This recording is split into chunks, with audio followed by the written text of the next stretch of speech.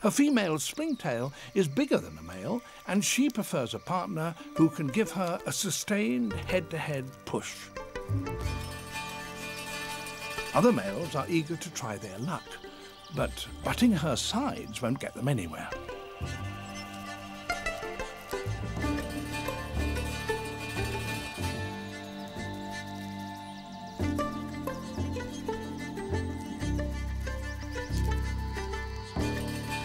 She seems unimpressed by any of them, but one is determined to stay as her dance partner.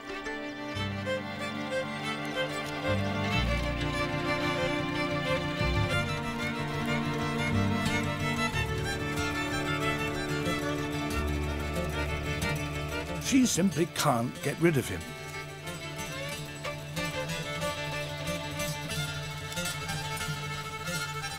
He confidently signals victory with a couple of fancy twirls.